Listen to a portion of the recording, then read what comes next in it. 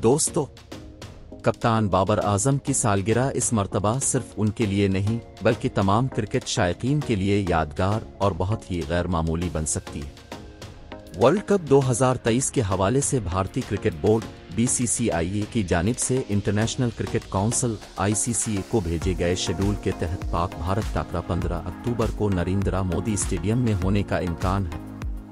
बाबर आज़म 15 अक्टूबर को अपनी उनतीसवीं सालगिरह मनाएँगे, जबकि इसी रोज वर्ल्ड कप में पाकिस्तान और भारत का मैच भी हो सकता है। दोस्तों, चैनल को सब्सक्राइब करें।